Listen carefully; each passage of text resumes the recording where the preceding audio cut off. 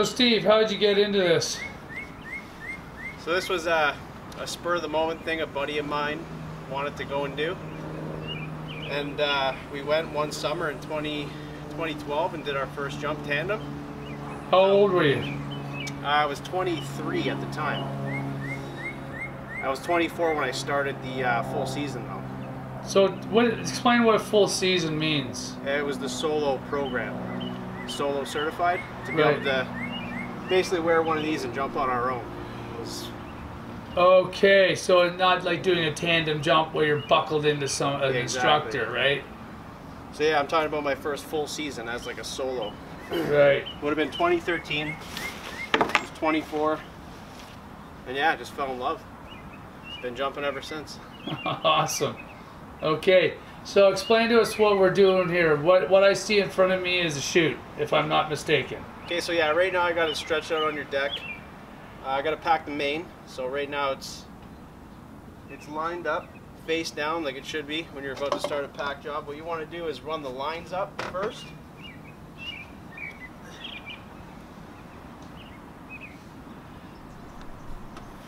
So it being face down, you got your brake lines are at the back or at the top. Then you got your, I guess, rear risers, your C's and D's, and your A's and B's are at the front. So you're kind of looking at the tail end of the parachute right now. This is what's called a uh, pro pack job. It's kind of done over the shoulder. There's different methods of packing. You can do flat packing, which is sort of on the ground, flat, if you will. So what are we doing there with that over your shoulder? So right now it's draped. This is the side of the parachute. You're looking at the right side of it because I've got it turned 90 degrees. This is my front, this is my tail. I gotta count the nose. This being a katana, it's got it's a nine cell canopy. It's got nine nine cells. So you want to count them, separate them. Packing a parachute is all about separating the lines from the fabric so you get less damage on opening because these open at such a high speed. You're gonna get wear no matter what. But two, three, four, five, six, seven, eight. So is that a possibility of damage when these things open? Yeah, it's just minimizing that damage. They're always gonna get damaged. Right. You just want to try and minimize it. Right. So it's all about how much wear and tear you're going with, right? Exactly. Yeah, you want to kind of. These are expensive. This brand new is uh, 2,200 bucks US. Ouch. So you don't want to be wrecking it too quickly. Okay, so uh, there's my follow-up question for you: uh, Is quality and the- term um, "you get what you pay for"? Oh, certainly. Yeah. Like now, can somebody? Could you go on, say, Amazon and buy something from the the country of China for 20 bucks and uh, be allowed to jump know. with that? I've never seen it. I wouldn't personally want to. Uh, usually, gear is shared between jumpers online or whatever, or you can buy it brand new from manufacturers, and you're paying top dollar for brand new stuff. We That's- share shit on. Uh, sorry, can't swear. We share stuff online, uh, kind of used through Facebook groups and stuff, and it makes it a little bit cheaper. Wow. Because people kind of hand down gear. You don't jump the same thing a million times either, or a thousand times rather. You kind of switch it up here and there. So now we want to, I was talking about separating the lines from the fabric. So if we look down into the parachute, we have our C's and D's at the back. I got the nose in between my legs, so the A's and B's are at the front. We want to start separating fabric from these lines here. And I'm just going to shove my So this isn't packing this chute isn't something that you learned overnight Uh, no, it took lots of uh, lots of practice. With somebody supervising you. Yep, of course. Yeah. It was um, all part of the solo course that I took. So here we got another set of You lines. don't mind me asking, what that solo course run you? The course I took was sixteen hundred bucks Canadian plus tax, Yeah. and that included your first. And that was here in Ontario? It was, yeah, it was actually in Dundas, just uh, a little town of Hamilton there. Yeah. These are always the hardest for me because I got short little arms. These longer ones. So now if you'll see, I've got all these lines stacked more or less. And all the fabric is tucked in back there. So we're gonna do the exact same thing on the left side. It's most most visible looking down from my perspective, but I'll just get it sorted out quickly here. All right, so now I got those uh, the tail end of the canopy on my right thumb. I am taking all this fabric, kind of neatening it up, as you can see. It's all one color, so it's a little bit tough to decipher, but yeah, we got that tucked in there nicely. We take our last couple of lines, and like I said, this is where it gets tough with my T-Rex arms. We're just kind of separating all that.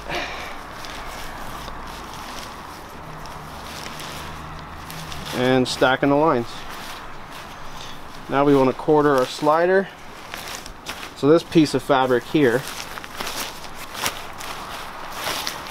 this square piece of fabric that runs down the lines when the parachute opens is to slow the opening. Okay, so now that we got our, all our lines stacked and separated from the fabric, we got this square piece of material here that you want to run all the way up as far as it can go on these grommets. It's your slider, and it uh, you want to push it as far deep into the canopy as high as it'll go because this thing is the first uh, piece of fabric that's really going to grab some air when this thing opens and you want it all the way at the top of the lines because it's uh, it'll be a more comfortable opening with that all the way up so it'll slide down I got a dumb question for you, Steve. what's that Um, are you like the fact that somebody watched this? Say somebody watches this in the future. Are you, uh, what would the word be? Uh, uh, able to actually show somebody teach? Are you validated to teach somebody this, or would that be termed? Uh, would that actually be illegal? Or you know what I mean? Uh, well, I don't have any coach ratings. I mean, I am pretty knowledgeable on packing. Uh, right. This particular video, I wouldn't take as an instructional video whatsoever because I, you're just I- giving us a little look yeah, at it, it's right? not uh, it's not hundred percent uh, in depth detail, but yeah. you can get a few of the main points off of it. But yeah, I'm, I'm totally capable of teaching somebody. Yeah. Okay, Steve. So where are we at now, brother? Okay, so this is the last part here before I lay it down on the ground. You want to take your tail. This is this label right here is actually the tail end of the canopy. This is at the this is the center of the canopy. It's going to be behind me, above my head. So you're looking at the top skin now. So this is the top of the parachute. I'm going to wrap it around the pack job. You want to contain you want to contain all of those all those stacks you just made inside try not to mess it up. We're going to be S-folding this thing into a tiny little bag, and it is my least favorite part of the pack job, actually. Sometimes it goes well, sometimes it's messy, but it always opens. Okay, so you're actually okay. Yeah, so that's starting to get a lot smaller. Yeah, well, I got to fit in that black bag there. this whole thing. Oh, all that's got to fit in that little guy. Yeah, it sucks. Nice. Okay, so I'm about to put it down on the ground. So I have my entire pack job right here. This is the part you do not want to mess up. Just to avoid premature wear and tear. And possible, you know, malfunctions.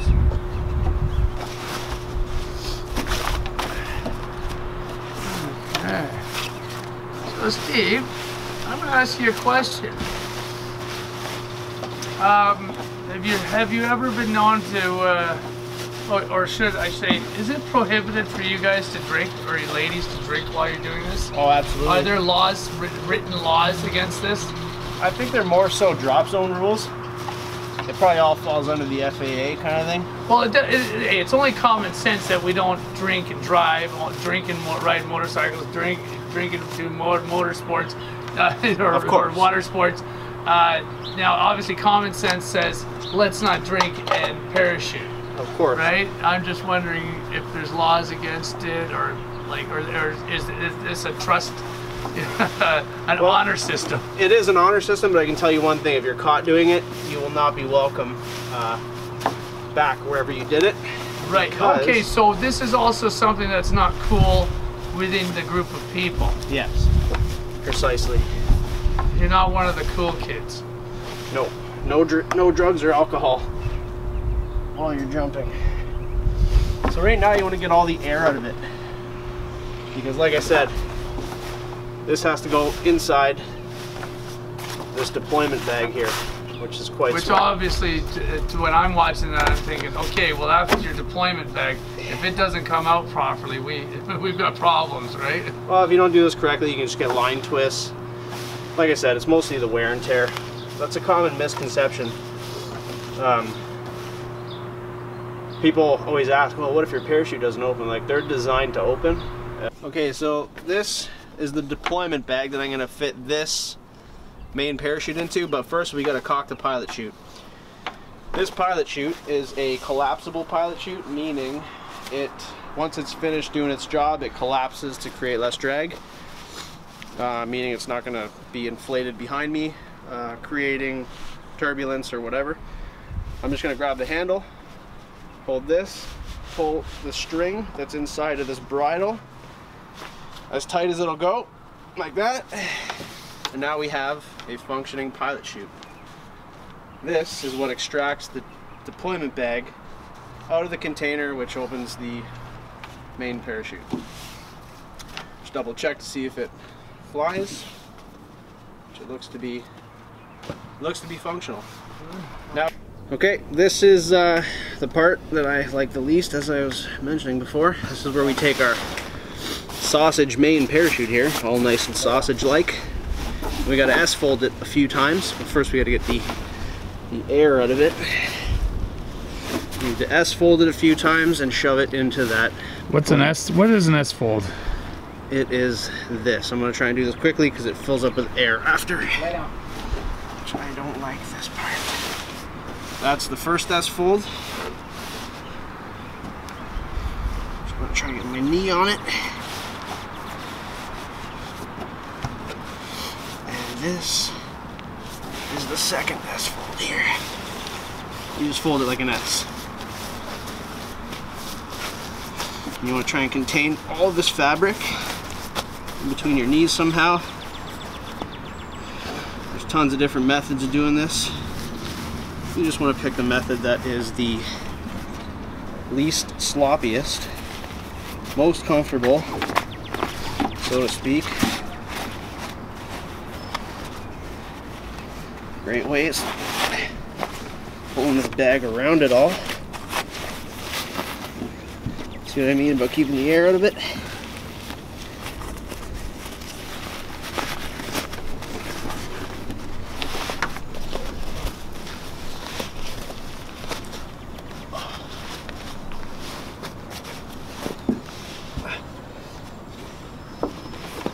See, that's It'll work. It'll work. I'll jump this. You don't feel like your life is going to be at risk? Your life's always at risk. Good point. But no, I feel confident. Oh, we shouldn't say that till the job pack job's over. Now take this bag and we want to make our first stow. We want to come around here. So we want to stow. This will be our locking stow. This is actually held shut with regular old elastic bands. we take it. You don't want to rub that on the fabric because it causes wear. You just take that, lines in your hand, and you stow it. Inch, inch and a half. That looks like two to me. It'll be fine. You just want to make them all the same. Okay, I got the first stow, first stow done here. We're just to go ahead and do our four locking stows. And by locking stows, they're called locking stows because I got it going through the grommet on the D-bag closing flap. And I'm stowing the lines.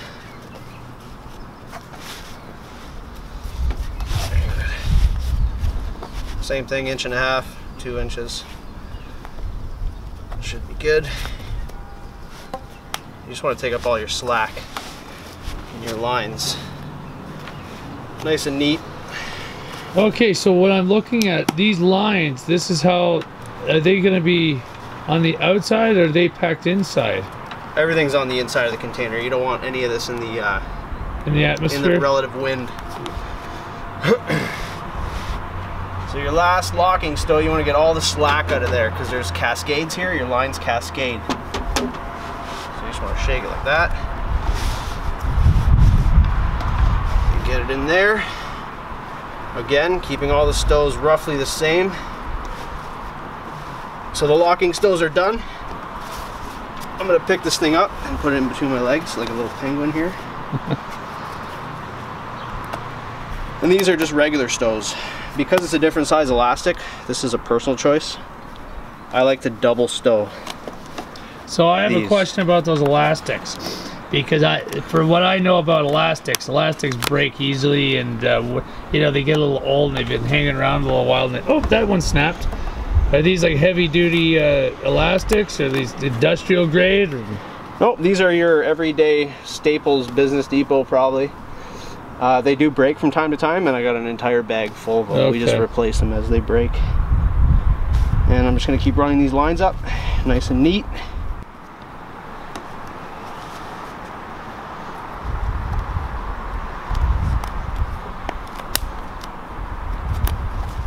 Double stow. These ones you can do a little less than inch and a half, two inches.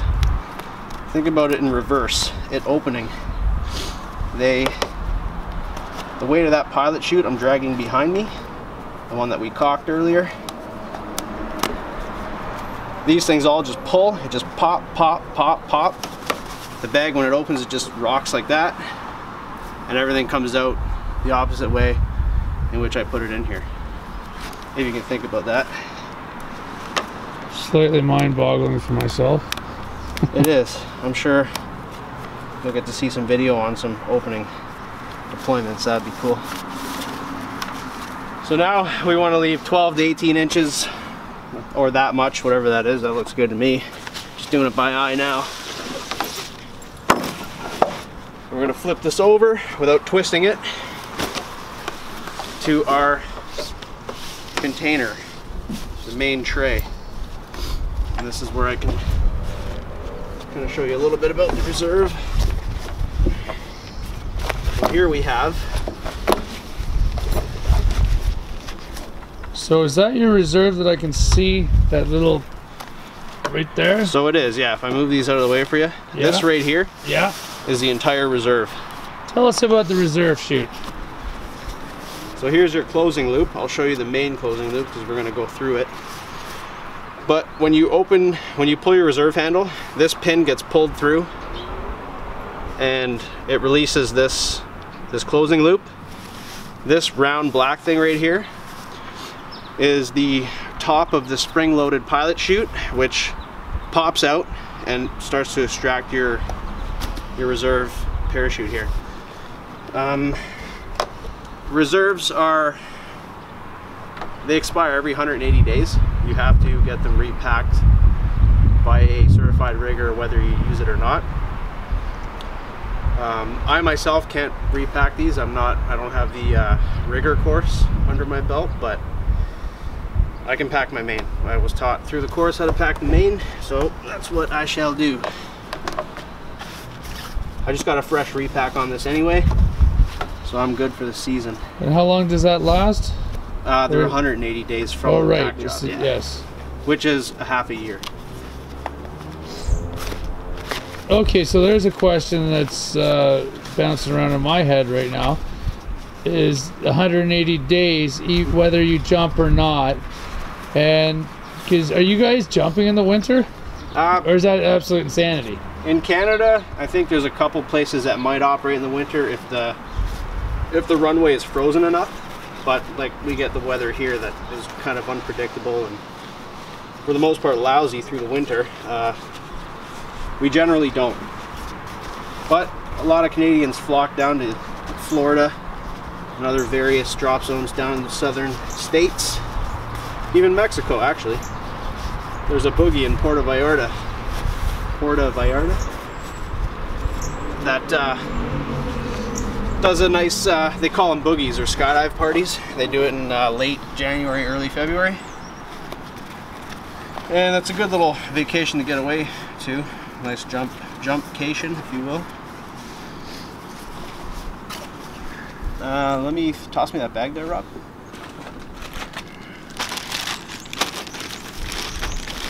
So you need one of these to close your main. It's called a pull-up cord. It's basically a shoelace, a silk shoelace. You got your closing loop, which is attached to the rig. This is what I showed you in the reserve. You're just gonna loop your, your shoelace through there and basically hold it back. You can tuck it somewhere, you can tie it to something, it doesn't really matter. Okay, so I'm zooming in on your wedding band. What's your wife think of this? She uh, regularly encourages me to, to go golfing more. but she's okay with it because I was doing it, I guess, long before I met her too, so. well, I shouldn't say that, but. When we're placing the D-bag in the container, you want to make sure your main your main tray here is nice and flat, nice and square, nice and open. You want to spread all this slack, spread all these slack lines out a bit. You want to stick this thing in here kind of on a 45 degree angle like that. Meaning the lines face down always, right? So 45 degree angle like this, you kind of want to wedge it in there. You can grab a hold of your closing loop now. You can lift up on the reserve tray and help it shove in there nicely. Now the way Wings, this is the manufacturer who builds this container, they want you to close the closing sequence for this particular container or any Wings container is the bottom first. As you're tightening this up, you want to shove all your fabric in. Make sure it's nice and even. You're going to use your knees and your own weight. Try and get it in there. Get the tip of your closing loop through here. Get your knee on it so it doesn't move. And then next is the top. So you close bottom, top.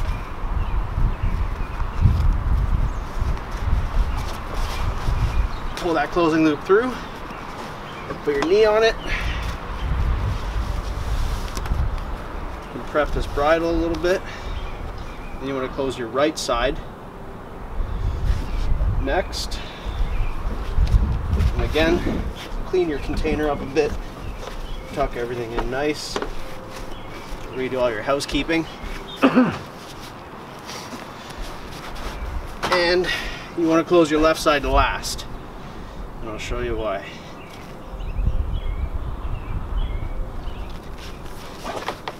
Now I'm right-handed. There are rigs out there built for left-handed people where your pilot chute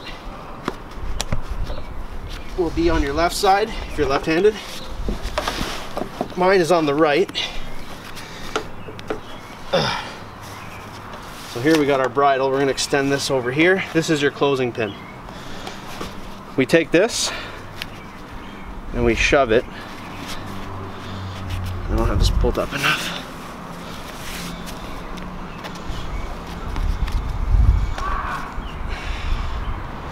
Take this and we shove it in between. Slip in here. Bear with me.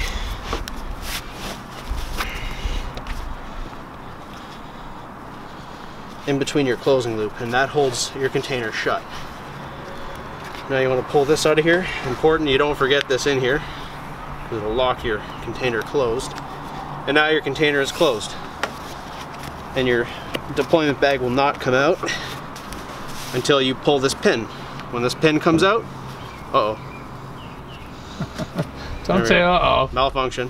When this pin comes out, that's when everything opens and everything you just saw me do happens backwards and that's how the parachute opens.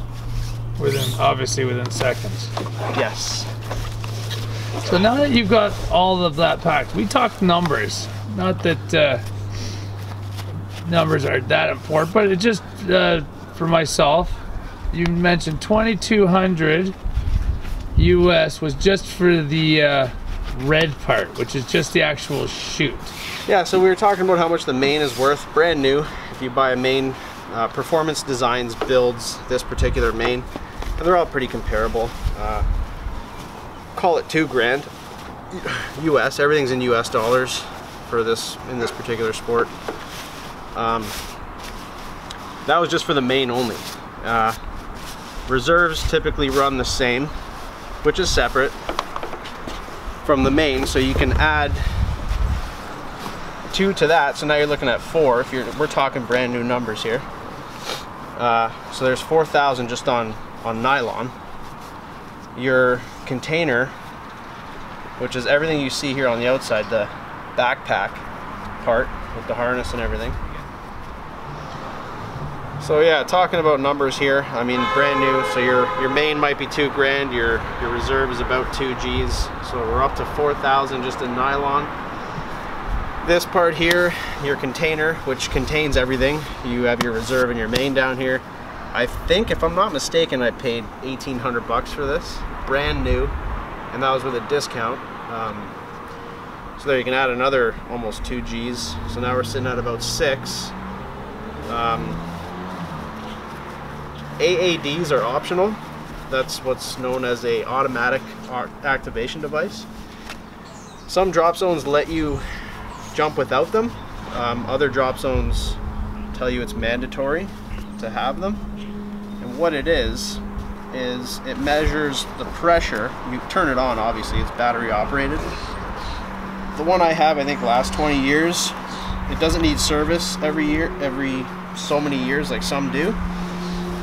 It's battery operated. It uh, it reads the pressure, the current pressure, and whatever it's set to. When you turn it on, it reads the pressure you're at above sea level, and uh, it's set to a hard deck. And if say somebody gets knocked out in free fall and I'm not able to open my reserve, which is this handle here, or reach my sorry my main if I'm not able to reach my main handle, which is right here, or my reserve, it will automatically, based on the pressure, read the altitude and at, I don't know, it's like a thousand feet or something, whatever you have it set to, it will cut the closing loop to your reserve parachute and it will open it for you if you're unconscious or not. And that's this little device right here. And you got to turn it on before every jump with this button. I can run you through the sequence. It says hello.